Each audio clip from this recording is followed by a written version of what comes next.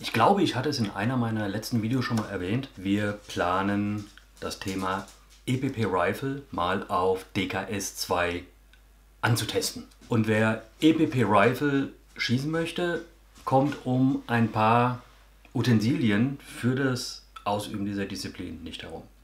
Einer der Utensilien ist eine entsprechende Single-Point-Sling. Grund dafür liegt einfach darin, dass in dem Moment, wenn, die, wenn eine Station beendet wurde, alles, was nach der Station 1 kommt, die Waffe quasi hängen gelassen wird, während man das Magazin befüllt und dann am Ende geladen hochhält. In dem Moment wird dann auch die Zeit gestoppt. Ich habe sie ja schon vorgestellt, meine Baikal MK 161K. Und hier ist natürlich die Krux an der Geschichte. Die Schlingenaufnahme im hinteren Bereich wie auch im vorderen Bereich ist für die Nutzung, für mich zumindest, für eine Single-Point-Sling nicht wirklich geeignet, da die Waffe sonst viel, viel zu tief hängt und die Mündung damit im Dreck hängen würde. Also musste ich mir überlegen, wie kriege ich das denn hin? Ich bin hingegangen und habe mir zuallererst die Schlinge, also den Sling, bestellt. Das ist ein 0815 Sling, der hat, ich glaube, noch keine 20 Euro auf Amazon äh, gekostet. Link zu der Sling poste ich euch unten. Sie macht auf jeden Fall einen relativ wertigen Eindruck mit Karabinerhaken und Detachable äh, Hakengurt. Features zeige ich euch gleich. Dann, wie gesagt, kam natürlich die Krux. Ist zu lang, um das tatsächlich am Schaft zu befestigen. Es gibt auch keinen äh, Sling-Adapter oder ähnliches für, diesen, äh, für diese Büchse. Also musste ich ein bisschen stöbern und bin dann auf einen äh, Sling-Adapter für eine Pickerschiene gestoßen. Für, ich glaube, 10 Euro. Ist ein China-Produkt, gebe ich offen und ehrlich zu. Hier ist das gute Stück, das ist dieser Haken, der wird seitlich mit einer Madenschraube an der äh, Schiene oben befestigt und hat dann hier die Öse, wo der entsprechende Sling-Karabinerhaken befestigt werden kann. Das ganze Ding sieht dann letzten Endes so aus und hält sogar ziemlich gut.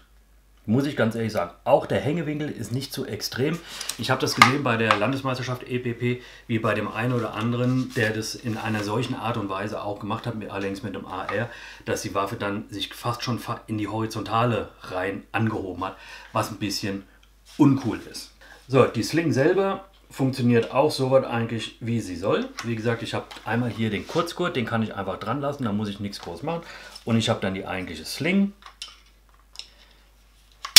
wird arretiert und die Waffe hängt. Geht eigentlich super, super einfach, hat einen leichten Winkel, aber sie ist sofort in Anschlag zu nehmen, wie man es braucht. Magazin raus, Waffe hängen lassen, zack, zack, zack, zack, zack. Zeit wird gestoppt. Ich denke mal, das sollte funktionieren. Das sind jetzt, wie gesagt, roundabout 15 Euro für die Sling, nochmal 10 Euro für den äh, äh, Weaver-Adapter, Picker-Adapter. Eines gleich vorneweg, es ist ein China-Produkt, das heißt, es passt nicht so wirklich 100%.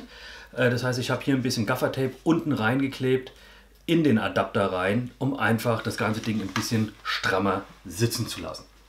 Alles in allem macht es eigentlich einen ziemlich guten Eindruck, muss ich ganz ehrlich sagen. Ich finde es eine, eine, interessante Lösung und äh, ich werde sehen auf jeden Fall beim ersten EPP Rifle unter DKS 2 Training, dass wir voraussichtlich 6.7. in Alsfeld äh, stattfinden lassen werden, werden wir das mal antesten.